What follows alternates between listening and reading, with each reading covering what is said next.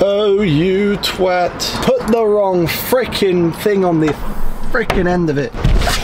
As always, not doing a job once, but doing it twice or three times. I freaking hate wood filler. Don't do a van build like this, it's not recommended. How exciting is this? The first time cooking in the van. My goodness me. I better be careful with these, otherwise I'm literally gonna have no fingers left. We have heat.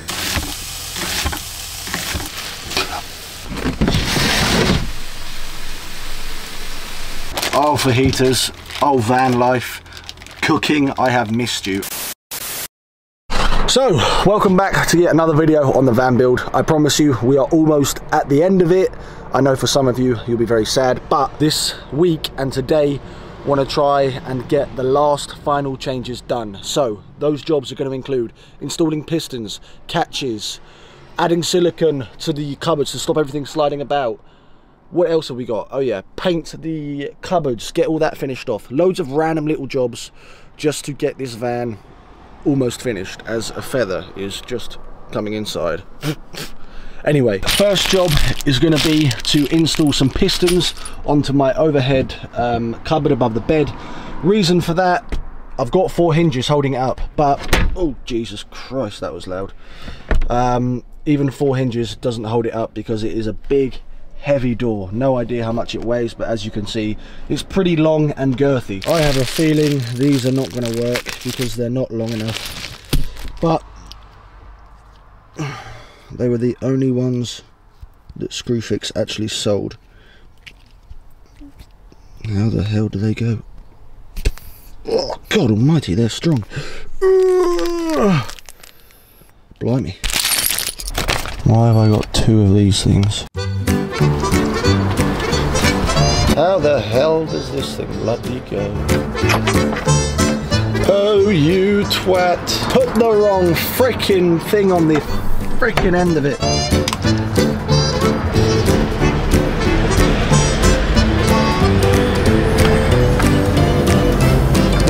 Oh, you bastard.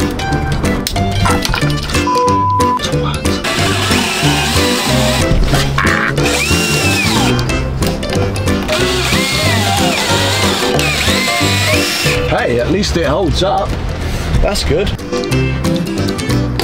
Oh, bollocks. Well, that's good, isn't it? I can't close it now. oh my god. So how the hell do I work this out then? This is just ridiculous.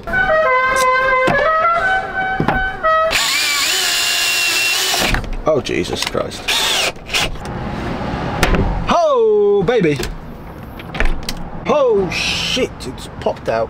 Okay, I need longer screws, but it works because it's popped out of here. Right, longer screws and we're almost there. That ain't gonna go anywhere. We have liftoff.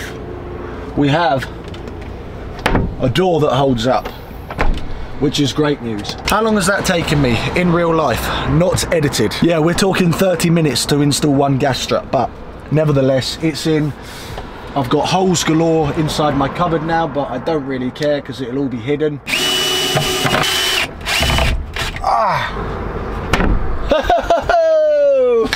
I've done it! 45 minutes later, two gas struts installed, so now my bedroom cupboard door can actually hold up by itself. That is a job ticked off the mental checklist. Happy days. Whilst we're on a bit of a roll with this cupboard, the next thing that I want to install are some magnetic catches. The reason for that is when I'm driving, it goes like that, which is obviously very annoying. So just bought these off Amazon. I'll leave a link to everything in the description. So I believe how it works is you install one on the bottom here, one on the actual door, so that obviously when you're driving, they stay in place and don't rattle about. Okay, this is what they look like. Just Oh god, it's strong. Ah, right, you screw this onto one side and then you screw this onto the other side and then when they meet together, bam, catches it nice and closed. I'll try one just because then I can use the other one for that cupboard. Why won't you go down, you twat? That goes on there. Then you put this sticky thing on there. brilliant. The sticky stuff isn't sticky enough to pull it off. I'm trying to mark where I need to screw the magnetic thing on, but it's not sticking to it. That is really going to stop them rattling when I'm driving, so I need to order two more for that cupboard. Going to install the second one just for good luck. There we go. Okay, we're on like Donkey Kong. Well, at least I should have biceps by the time I keep opening and closing this. The next thing I'm now debating doing, or I'm debating whether just to be lazy and leave it, is I need to lower this TV down. I can't tilt the TV forward anymore and you get a load of reflection and it's just not the right height when you're lying there with your eye level. So, I'm just debating if I can be bothered to move it down or not because not sure currently if I regret getting this TV because in the future I'd like to get a new iPad Pro 12 inch or something and then I can just put mounts all over the place because an iPad has a much better 4K screen or a retina screen. I can use an iPad for Google Maps when I'm driving with different mounts and attachments everywhere. But an iPad Pro is like, I don't even know how much they cost, probably about a thousand pounds. This was a hundred pounds, this TV. I've got the Roku uh, Now TV stick.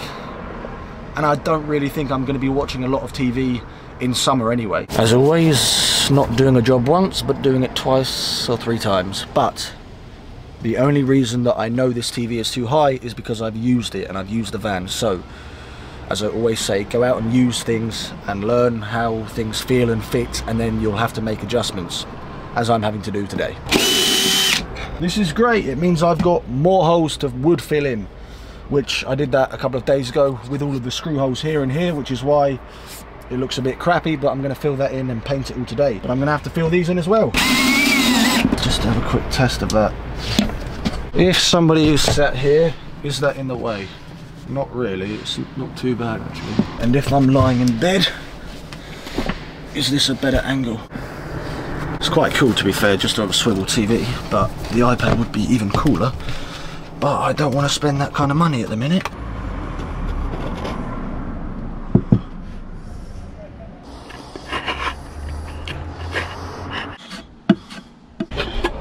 Ah! I freaking hate wood filler. Go in the holes and stay there. That is an absolute mess. Right, while we wait for that wood filler to dry on the other cupboard, time to get these ones finished off. So, sometime last week I just came and filled in all the screw holes on the sides and underneath which already makes it look a lot lot tidier. But today I'm going to paint this the same colour as the green sage here. I'll time lapse all the painting and stuff because it's not that interesting but uh, yeah. Let's get this finished and this painted. And then the cupboards are finito actually no they're not there's one more job that I want to do afterwards I can't be bothered to paint the insides of them because I just can't be bothered. So just the outsides to match in and blend in with the walls and then they're done.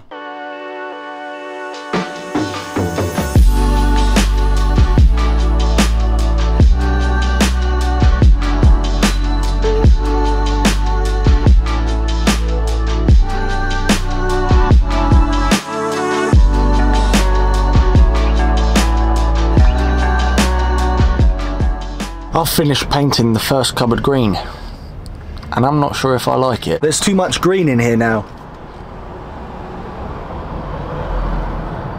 I actually preferred the normal colour of the ply. It blends in better, but I don't know, it's too much green for me. Welcome back to the second day of tinkering jobs. Last night I've slept on my decision of painting these cupboards green and I've decided I don't like it, it looks too sludgy and we're going to make a change. So this morning I went to the fabric shop and I bought some Hessian fabric material which currently I think I'm going to put on the bottom of the cupboard first just to see how that looks and then potentially the side. Um, yet again I've wasted time filling in the screw holes because I'm now going to have to find the screw holes that I had originally, which are now covered in wood filler, take them out, spray, and glue on the Hessian to the underneath. Basically what I'm trying to say is I've wasted so much time because I've wood fillered, pointless job. I've primed the wood, pointless job, and I've painted it green. Pointless job because now I'm going to cover it all in bloody Hessian. So it's the only way to uh, kind of figure out what you like and don't like is by actually doing it and then realizing oh, I don't like it. So that's today's job and plan. Let's crack on with it. Luckily, I can still see roughly whereabouts the screw holes are. Ah, this is gonna get so messy, isn't it? Oh, there's gonna be wood filler all over the floor. Gotcha. Don't do a van build like this. It's not recommended. Hopefully people learn from my mistakes. I really do hope that you take some learning steps from watching me cock up and waste time and money. Uh, oh, maybe not. That's it. Oh. Oh. Oh. That'll do, donkey. Right. Oh. That was ball ache. Time to uh, sand this down, take the LED strip out, put some Hessian on top of it all, and get it all looking nice and pretty.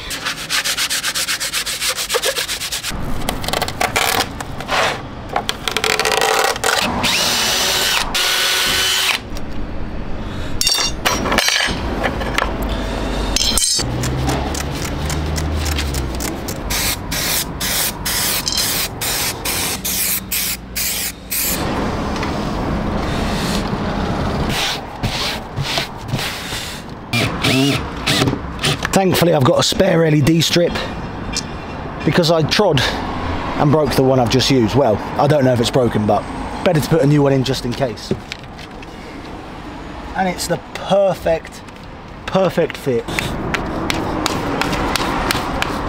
I tell you what, I'm pretty happy with that. Neil, you'd be proud of me. That actually looks neat and tidy. Obviously, all of the mistakes and everything are completely hidden, hidden? Hidden by the Hessian. So, now all it is, screw it back on, see how it looks and potentially do the other side. Hopefully I should be able to go in the existing screw holes. oh, this looks brilliant. Yeah, that looks Yeah, really nice. cool. And this, what is it? Yeah. Yeah, I think it's good. Drop that. Oh, sorry. So this is a bit of a reality check for you. I just put the camera down, or not down, just wasn't recording because I was just going to solder back in the LED strip. But of course I've soldered the black to the red and the red to the black. So cocked that one up, so now I've got to redo that. Anyway, see you in a second when I get this LED strip widen the correct way round. Well, this is the moment of truth. Please excuse my dodgy wiring, but everything works. I have run out of uh, heat shrink, so I've just taped it temporarily. I say temporarily, that's permanent. I am not going to be bothered to tidy that up. I will, of course, clip these cables at the back here, but let us look at this now. Look how much better that looks. In my opinion, completely breaks up the green. Now all I'm trying to decide is whether I do the side panel as well. Ooh. Or I just leave it. Let me know in the comments what you think, but you'll obviously see in this video what I've decided to do. I might leave it for now, and then if I feel like it needs changing in the future, then I can always change it. I've decided I'm going to do the sides Hessian as well. It's all got to match, otherwise it just, it will just look better, trust me.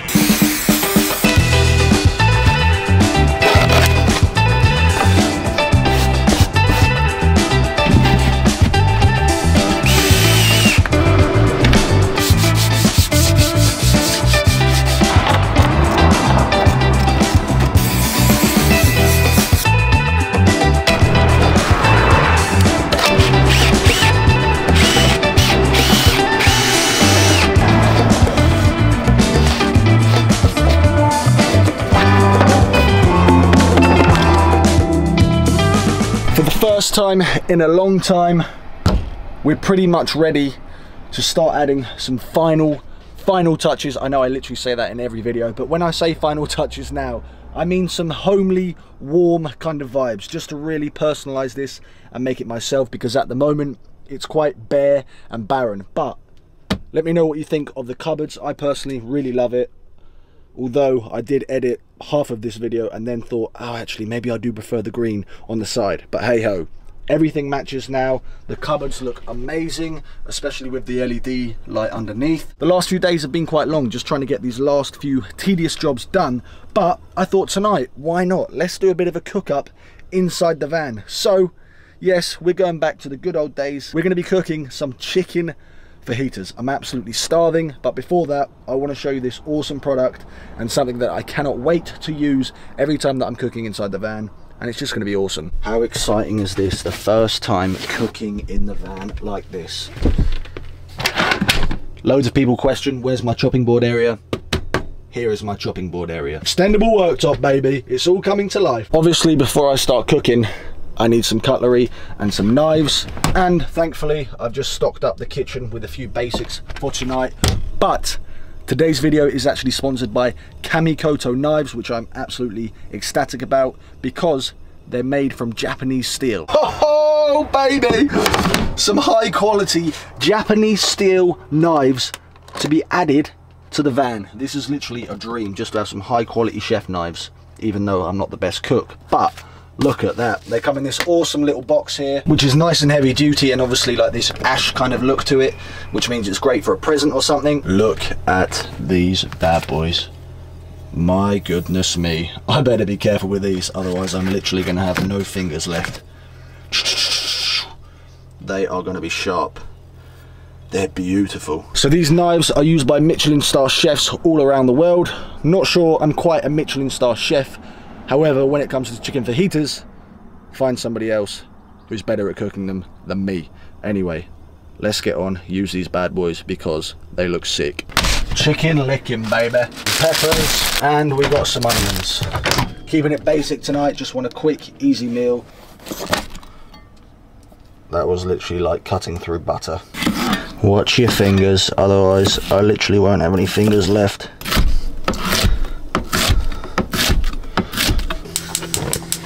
We have heat. Oh yeah.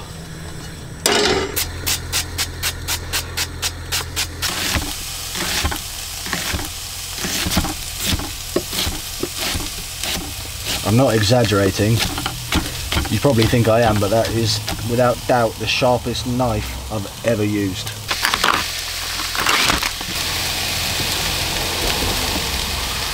Did you know, by the way, that each knife comes individually inspected and comes with a lifetime guarantee. So you can be sure they're going to last you a long, long time. In with the chicken.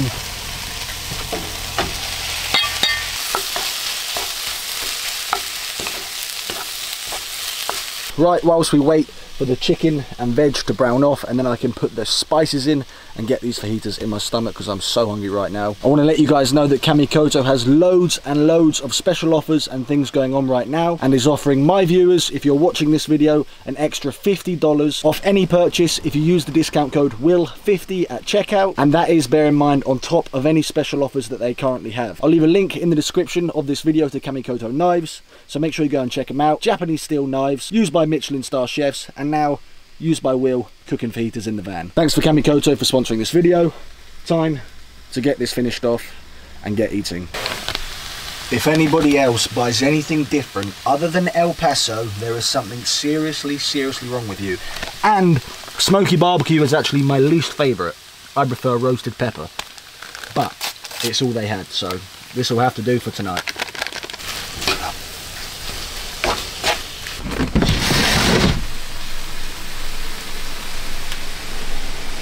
Dinner for one. Yes, please. Right, we're going in with the chicken first. Not to overdo that. We're then to go on with the cheese to melt. We're then to chuck a couple of slices of this. We're then to go for some Nando's peri peri garlic sauce. Oh, Oh, fajitas. Oh, van life. Cooking, I have missed you. I literally, genuinely cannot remember the last time I cooked a meal. It must have been well over a month ago. I am going to get this in my stomach, chill out this evening, and then crack on tomorrow for some more jobs on the van. But this time, we're doing some more mechanics, which uh, should be entertaining for you guys. Yet again, it's a job I've never done. So, thank you guys so much for watching. Thank you for continuing support me, the channel, the videos. I hope they're bringing you some sort of value or laughs. Mmm. Oh my. Oh my. I can confirm that chorizo works very well with chicken fajitas. Thank you guys for watching. Sorry for talking with my mouth full. And I'll catch you. Damn, that's good. In the next video. Peace out.